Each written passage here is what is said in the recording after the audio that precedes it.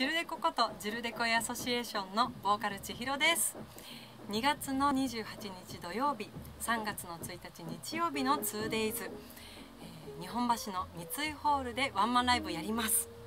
1日目はウィンターということでバラードちょっと多めで、えー、私の歌をしっかり聴いてもらうようなライブにしようと思ってます。2日目はスプリングということで、えー、まあ、みんなで会場がわーっと盛り上がるようなライブにしたいなと思って今いろいろ演出を考えているところです。今ちょうど彼らは練習をしているところなんですけれどもきっと熱い演奏聴かせてくれることと思います、えー、1日目2日目全然違う、内容にしようかなと思ってますのでもし2日間来てもらえたらすごい